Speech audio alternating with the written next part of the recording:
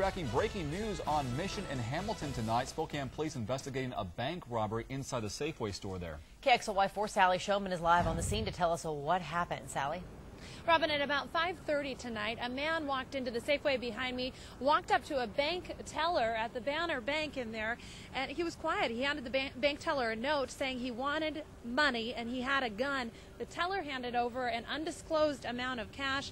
Uh, people who were there say that he was quiet and calm and he did not create a scene.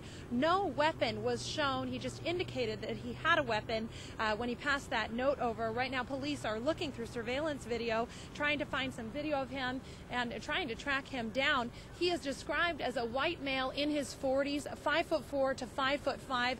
He was wearing a light stocking cap and a dark Carhartt jacket. So, of course, if you have any information, call Spokane Police. Live at Mission in Hamilton, Sally Showman, KXLY4 HD News.